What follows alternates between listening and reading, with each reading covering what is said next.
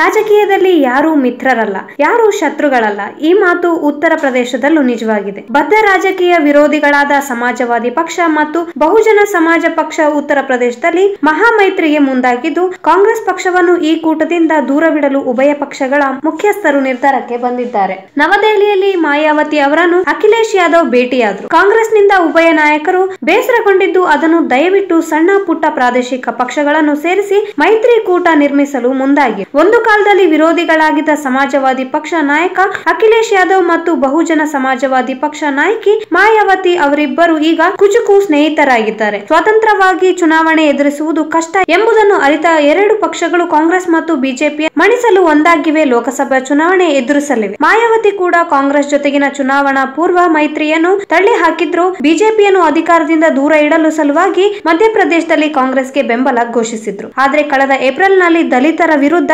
ದಾಖಲಿಸಿರುವ ಸುಳ್ಳು ಪ್ರಕರಣಗಳನ್ನು ನೂತನ ಸರ್ಕಾರ ವಾಪಸು ಪಡೆಯದಿದ್ದರೆ ಕಾಂಗ್ರೆಸ್ ಪಕ್ಷಕ್ಕೆ ನೀಡಿರುವ ಬೆಂಬಲವನ್ನು ಮರುಪರಿಶೀಲಿಸುವುದಾಗಿ ಎಚ್ಚರಿಕೆ ನೀಡಿದ್ದಾರೆ.